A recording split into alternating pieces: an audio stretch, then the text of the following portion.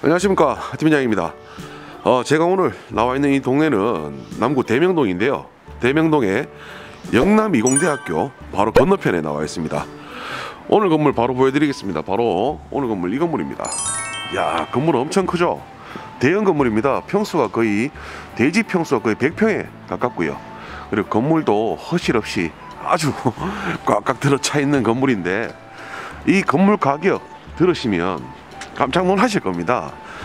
뭐 요즘 이런 가격이 있나 싶을 정도에 나와 있는 금액인데 11억대로 나와 있는 건물입니다. 자, 이 건물 전면만 봐도 건물이 크다는 걸 지금 영상에서도 아마 느껴지실 거예요. 보통 영상에서 보면 그렇게 크기를 가늠하기가 좀 힘들긴 한데 이 건물은 제가 건물 끝에서 지금 끝까지 걸어왔는데 한참 걸립니다. 자, 이렇게 건물 외관, 건물 전면입니다. 건물 전면이고 1층 필로티 구조로 주차장 있고요. 주차장은 총 제 좌측편에 다섯 대 그리고 우측으로도 여기다 세 대. 이쪽 라인에서는 주차를 여덟 대 할 수가 있고요. 그리고 뭐 앞쪽 뒤쪽 해서 한 아홉 대, 열 대까지도 주차는 넉넉하게 충분하게 주차할 수 있다고 보시면 되겠습니다. 우선 건물 내부로 한번 들어가 볼게요. 아, 1층은 뭐 어느 집이든 이제 1층은 다 같은 구조라고 보시면 되겠습니다. 2층부터 이제 주택이 있는 구조인데 어, 안녕하십니까. 예. 저 2층 올라가는데 청소 건물 관리하시는 분 청소하고 계셔서 영상을 잠깐 멈췄어요. 여기가 이제 2층 구조인데요. 여기는 전부 다 투룸으로 가구가 구성이 되어 있습니다. 방 한 칸, 거실 한 칸 있는 구조인데 세입자 방 칸살 엄청 좋습니다. 그래서 세입자들이 어, 여기 공실 생기면 이 집이 크다는 걸 알고 어, 바로바로 세입자 임차가 들어온다고 보시면 되겠고요. 더군다나 학생 수요가 많기 때문에 어, 여기 임대라든지 뭐 새 놓는 거는 크게 걱정하지 않으셔도 될 것 같아요. 그리고 올라오다 보니까 뭐 타일 상태라든지 타일이 좀 뜬 것 같은데 여기는 지금 수리를 싹 한 번 다 하셨네요. 겨울철에 이런 현상이 참 많이 일어나죠. 저 2층하고 3층은 동일하게 세대가 구성이 되어 있는데요. 여기도 투룸이 4가구 들어가 있어서 총 투룸은 8개 그리고 제리의 주인 세대 쪽에는 3룸과 주인 세대가 한 가구 있습니다. 이렇게 좌측이 주인 세대 그리고 우측 여기가 3룸 구조라서 건물에 가구수는 총 10가구 들어가 있습니다. 아, 대지 거의 한 100평 가까운데 10가구 정도 들어가 있으면 세입자 방 크기 어느 정도 되실지는 이제 영상 보시는 분들은 다 잘 아실 거예요. 자, 그리고 옥상으로 한번 나가 보겠습니다. 자, 옥상 이렇게 올라왔습니다. 지금 좌측편에 보면 제가 옥상에 올라오면서 4층에 왼쪽이 주인 세대고 오른쪽이 3룸이라고 했지 않습니까? 지금 여기가 좌측편인데 여기가 주인 세대 거실입니다. 거실은 정남향 구조를 하고 있는 구조이고요. 남쪽으로 보면 이렇게 앞산이 바로 보입니다. 그리고 옥상은 뭐 실질적으로 여기가 학생이라든지 그런 분들이 많이 거주를 하셔서 옥상 크게 사용을 하지 않아요.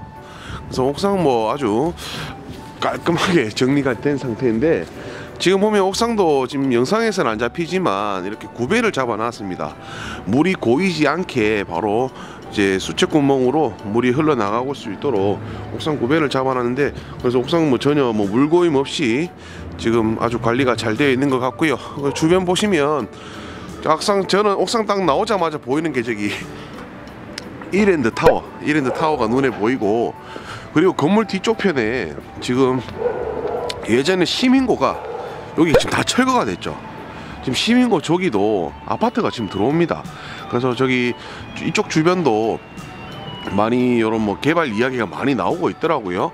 주변 발전을 좀 더 기대해 볼 수 있는 그런 위치이고요. 그리고 길 건너편에 보면 여기가 바로 이제 영남이공대학입니다. 영남이공대학 저 옆에 좀 높은 하얀색 건물은 여기 영남대학교 병원이고요. 대학병원도 가까이 있고 영남대학 학생 수요까지 아주 풍부한 임대 수요가 많은 그런 위치라고 보시면 되겠습니다. 일단은 뭐 세놓기는 뭐 두말할 거 없는 위치고요. 그리고 세입자가 좋아할 만한 방 크기와 구조를 하고 있습니다. 그래서 세놓는 거는 걱정하지 않으셔도 되고요. 가격이 또 중요한 거 아니겠습니까? 제가 영상 초반에 말씀을 드렸는데 가격적인 메리트가 아주 큽니다. 요 건물 내용 제가 설명을 드릴게요. 투룸 8개, 쓰리룸 하나, 주인 세대 총 10가구에 대지가 323제곱입니다. 건평이 565제곱미터. 건축 연도 2015년 2월에 준공이 났고요. 주차는 총 10대 가능하며 면제 매매가 제가 11억대가 말씀드렸죠. 11억 9천도 아니고 11억 7천만 원입니다. 11억 7천에 현재 대출 2억 주인 세대까지 모두 세를 놓은 상태입니다. 그 임대 보증금이 2억 8천8백만 원, 현재 인수가 6억 8천 2백만 원입니다. 월세가 332만 원에 이자 제외하고도 265만 원 나오는 건물입니다.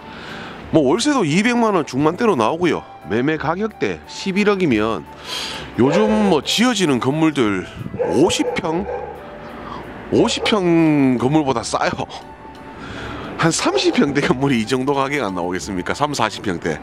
이런저런 뭐 내용을 가지고 건물을 한번 비교해 보시면 물론 오늘 건물의 단점이라고 하면 뭐 진입도 진입 도로가 어 4m 4m지만 차량이 들어올 수 있도록 충분히 6m까지 확보된 그런 도로이기 때문에 도로 말고 위치적으로나 뭐 세놓는 그런 환경 등을 봤을 때는 저는 저는 굉장히 메리트 있다고 생각이 듭니다. 그래서 영상 한번 보시고요. 그리고 이쪽으로 조금만 내려가면 한 10분 정도 내려가면 역도 이용할 수가 있고 아니면 집 앞에 버스편이 있어서 뭐 버스 타고 뭐 시내권까지 나가기도 아주 좋은 위치이니까 궁금하신 점 편하게 연락을 주시고요. 오늘 영상 여기서 마무리하도록 하겠습니다. 구독 좋아요 부탁드리겠습니다. 감사합니다.